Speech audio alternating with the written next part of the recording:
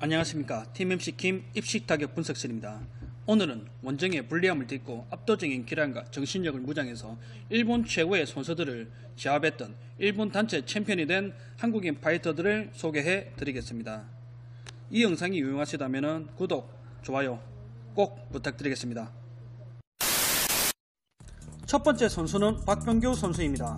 2000년도에 신일본 킥복싱 챔피언 무대를 데뷔를 해서 일본에서만 54전의 위대한 커리어를 쌓은 한국인 최초의 일본 타이틀 챔피언입니다. 2008년도 4월 13일 일본 킥복싱 슈퍼킥 대회에서 일본의 마사루 상대로 신일본 타이틀을 획득합니다. 1차 방어전까지 성공했던 1세대 입식 격투기의 전설, 그의 커리어는 전설 그 자체입니다. 지금 남아있는 신일본 킥복싱과 몇 가지 신생단체들이거든요. 일본에서 킥복싱 신일본 킥복싱 협회 라이트급 챔피언 부산 전사체육관 소속 박병규 일본 킥복싱 라이트급 챔피언이 그렇군요. 간이 커요. 예. low kick 착하거든요. 저거 체력을 이성희 선수가 잘 타고 들어가봤죠. 예. 원투 숙이면서 공격. 또 이성희 사실 대단하죠. 예. 워낙에 보면서 받아치고 있어요. 이런 거 받아치는 거. 주고받고. 물이 오를 때도 올랐네요. 예. 저기서 body 치고 다칩니다. 예. 이 knee kick. 무릎 공격. 예, 앞으로 조심해야 되죠. 다시 무릎 공격.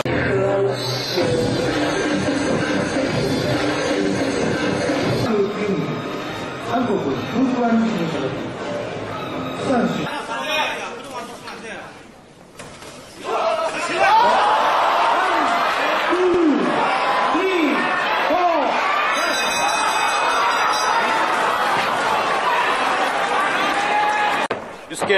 헛쳤습니다. 라이트. 박병규 한타에 끝내려고 그러고 있습니다. 예. 오, 자, low kick.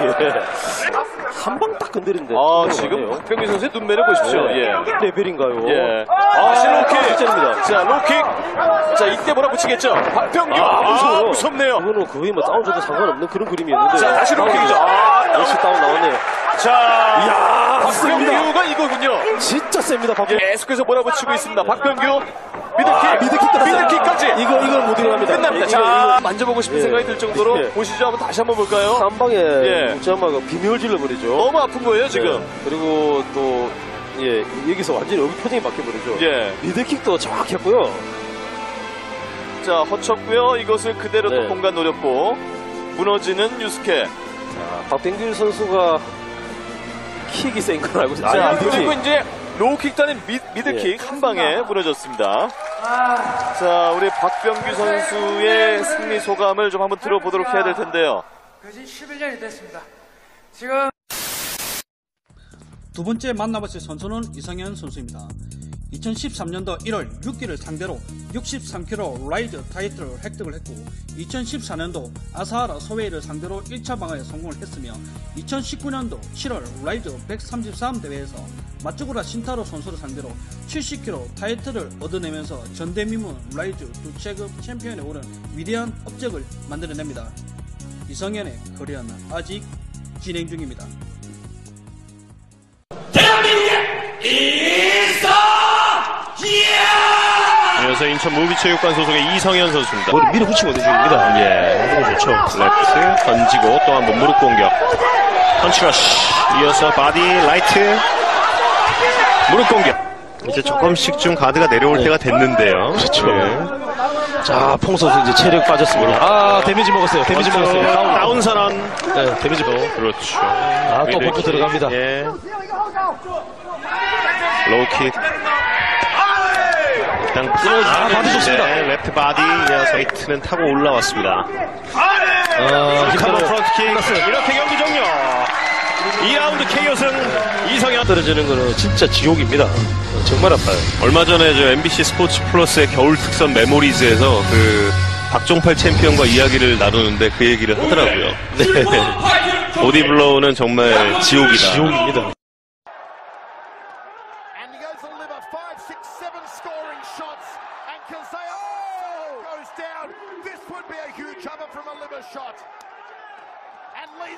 shot. And Lee's going to town. Second knockdown Team Korea is looking for a huge upset here. The lead leg, the lead leg is starting to give up. For almost two rounds. It's a 10-7 round.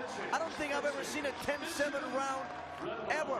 Sega needs a knockout here in the third round if he has any hopes of winning this fight at all. But Lee just Lee is just relentless and he seems unstoppable. 技战术方面会不会有些调整和变化？ 哎呀，这种对攻中啊非常危险，就是没有攻守兼顾。当然这样被击倒应该被扣两分。关键是对他下面的比赛非常不利了。，对，因为会使他的这个使他的防守力下降，看来大局已定。大局已定被 KO 了。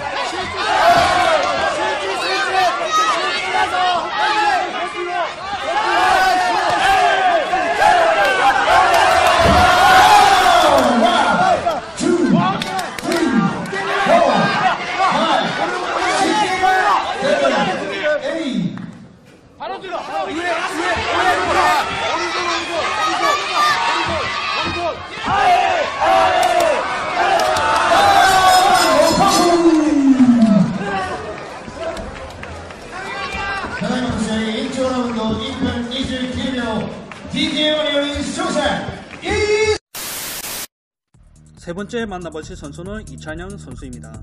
이성현 선수의 팀 동료이면서 한 체육관에서 동시에 일본 타이틀을 얻은 최초의 사건입니다.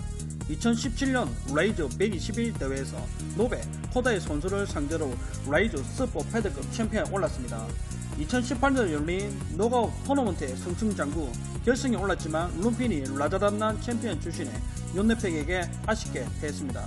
하지만 이찬영 선수도 여전히 라이즈 챔피언입니다.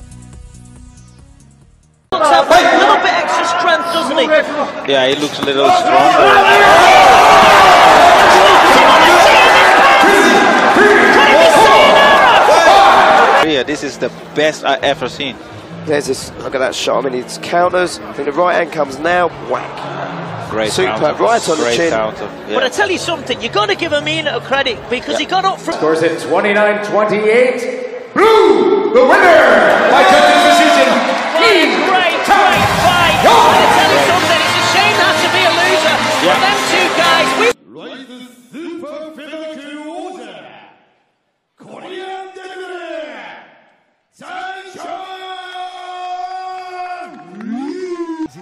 open and comes right down. And again, Wow, Chan Hyung Lee pulled the guard down there and popped in a punch.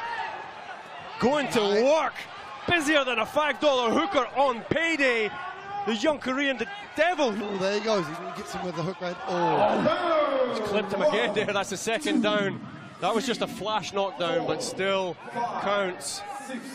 flash knockdown, but the damage from the first round right at him. He's going to land not just low kicks, he's going to land hard punches. Otherwise, oh, there he goes. He gets him with the hook right. Oh, oh. He's clipped him again there. That's the second down. really took it out of him. He needs every second of this. There we see that hook to body on the replay right there. Oh yeah, I mean that, that just brutal, heavy, heavy work there from Lee to the body, to the head. He's got that educated left hand.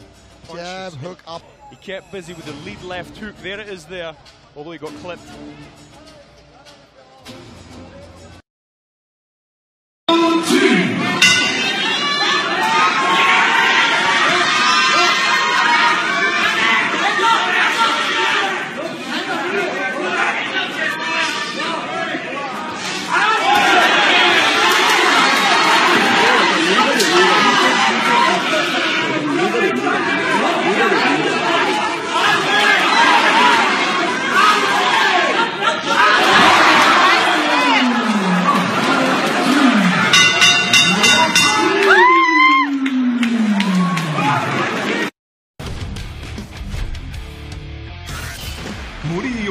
VS チャンヒョン・リー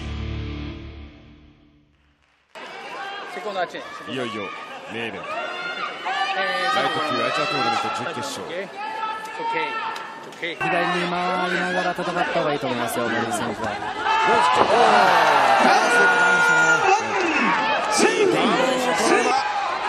コリアンデビル・チャンヒョン・リー。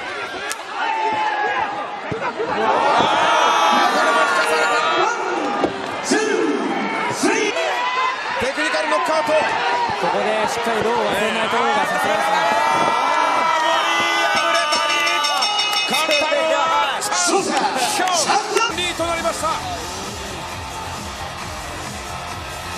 日本人選手全滅ですで。は4月29日決勝戦いやー森井選手がここまで何もできないとはまあちょっと出だしから元気がない印象がありましたね、森井選手は。動きもそんなになく、もっとコントロールとして蓄積されていったっていう感じ石井さん言ってましたもんね、本番前に。チャンピオンリーグ、本当に強い。 다음 시간에는 내년 1월 13일 라이즈 136 대회에 출전하는 슈퍼 라이트급 타이틀 매치 일본 최고의 선수들인 히데키, 하라구치 켄토 두 선수에 대해서 분석할 수 있는 시간을 가지겠습니다. 감사합니다.